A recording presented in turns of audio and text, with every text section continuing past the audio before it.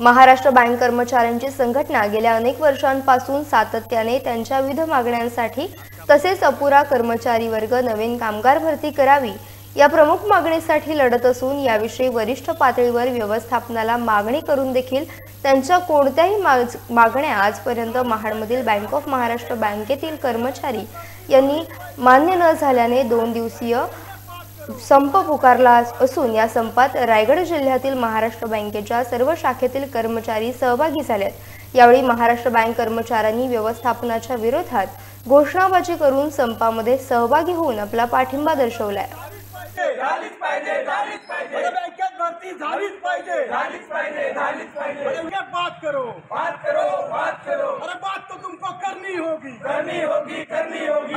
आज जो हमने नौ और दस की स्ट्राइक रखी है। हमारे मैनेजमेंट से हमें ये मांग कर रहे हैं कि आ, हमारे बैंक में हमें स्टाफ की बहुत सख्त ज़रूरत है और रिक्रूटमेंट की सख्त ज़रूरत है ना कि हमें प्राइवेट किसी संस्था को से हमें रिक्रूटमेंट करनी चाहिए। हम ये मांग कर रहे हैं कि हमारे बैंक के तरफ़ से ही रिक्रूटमेंट हो और स्टाफ बढ़ाया जाए ताकि हम अपने कस्टमर्स को अच्छे से सर्विस दे सकें।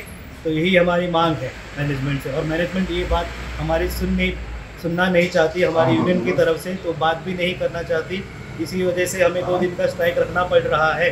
और ये मैनेजमेंट हमें बात सुने और हमारे यूनियन से बात करें यही बस मेरी मांग है।